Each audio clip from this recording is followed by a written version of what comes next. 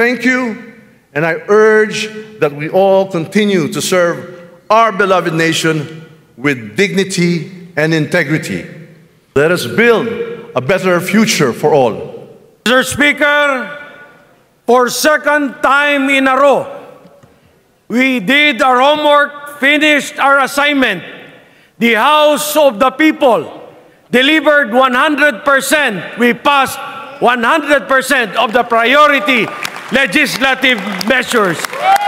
Mr. Speaker, mission is accomplished.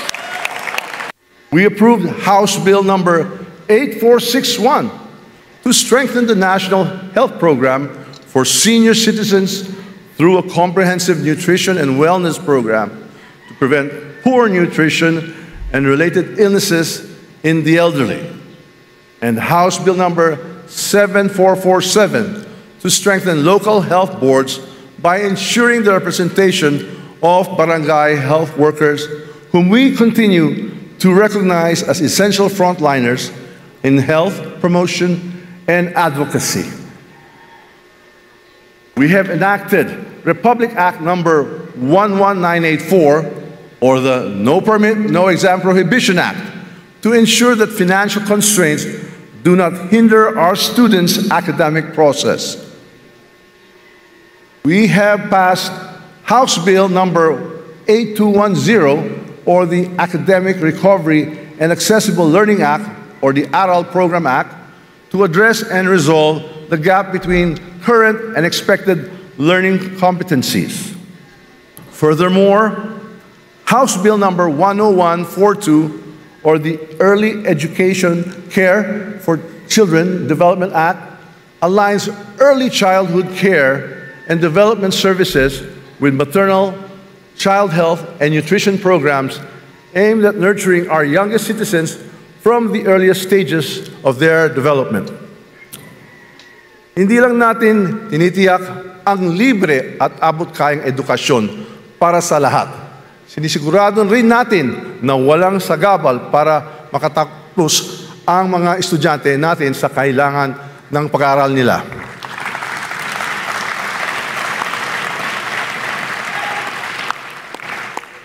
Employment opportunities and labor rights have been the focal point of our legislative agenda. Republic Act number 11962 or the Trabaho para sa Bayan Act focuses on improving the employability and competitiveness of Filipino workers through upskilling and reskilling initiatives, as well as support for micro, small, medium enterprises and industry stakeholders. Matibay po ang ating paniniwala. Kailangan natin ang mga investments para makilikha ng mga trabaho at hindi basta lamang na trabaho, trabaho na marangal at kayang bumuhay ng pamilya.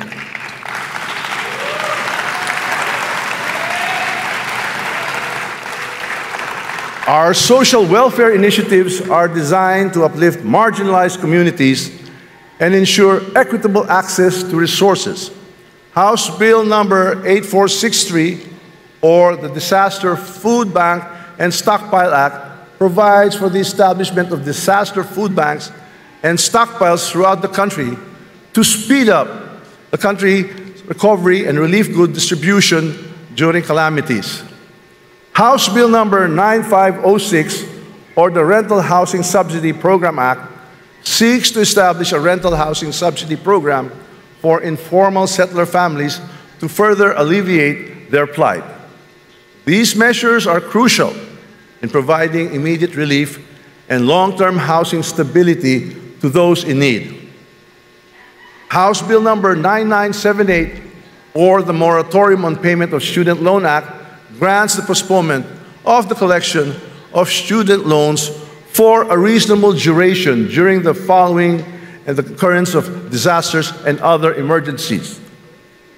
We have approved House Bill number 8456, or the Philippine Downstream Natural Gas Industry Development Act, this legislative action to increase the share of renewable energy in our power mix and promote sustainability reflects our commitment to address climate change and ensure a resilient future for our nation. House Bill number 9663, or the National Water Resources Act, provides for the establishment of the Department of Water Resource Management and enhances disaster preparedness measures, which are critical steps towards safeguarding our environment and ensuring sustainable development. All these legislative measures that we had approved are not merely words on paper. They embody our commitment to the welfare of every Filipino and reflect our dedication to the creating a more just, prosperous, and dynamic society. As Franklin D. Roosevelt once said, the only limit to our realization of tomorrow will be our doubts of today. As we conclude the second regular session of the 19th Congress, I must congratulate all of you for the achievements that I am sure will contribute to charting a prosperous path for our beloved nation. We have steadfastly focused on our legislative works and ensured that our efforts align with the needs and aspirations of the Filipino people. Let us carry with us the understanding that our work is not just a responsibility, but a noble privilege, a chance to uplift our fellow Filipinos, leave a lasting imprint on our society, and pave the way for a more prosperous tomorrow. I am deeply grateful to every member of the House, our tireless secretariat headed by our reliable Secretary General, and Sergeant at Arms, and our devoted congressional staff. Your dedicated efforts have always been one of the keys to our success.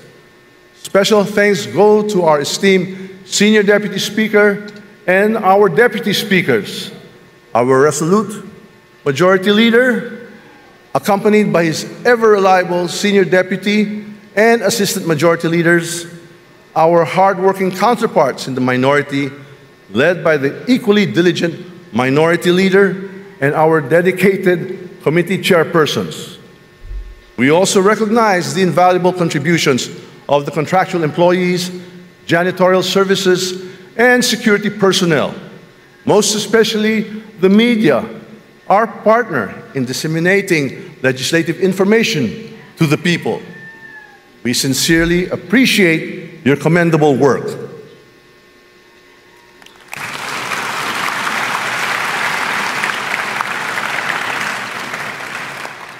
While we have achieved significant milestones, our journey is far from over. Let us march forward with a renewed sense of purpose, fortified by courage and unwavering determination, poised to confront the trials that lie ahead. Thank you, and I urge that we all continue to serve our beloved nation with dignity and integrity. Together, united in our resolve, let us build a better future for all. Damo nga salamat, hayungan at tanan, mabuhay ang Pilipinas, mabuhay po kayong lahat.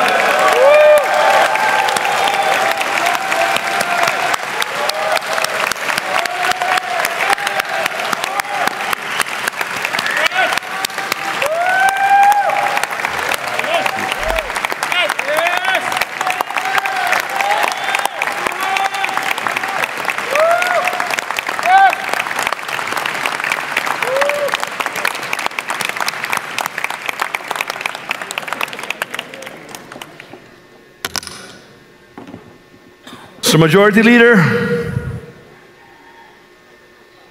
Mr. Speaker, for second time in a row, we did our homework, finished our assignment.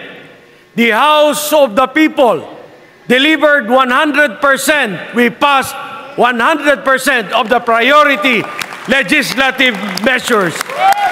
Mr. Speaker, mission is accomplished. Mr. Speaker, I move to adjourn sine die the second regular session of the 19th Congress of the Republic of the Philippines. Is there any objection? The chair hears none. The second regular session of the 19th Congress of the Republic of the Philippines is adjourned sine die.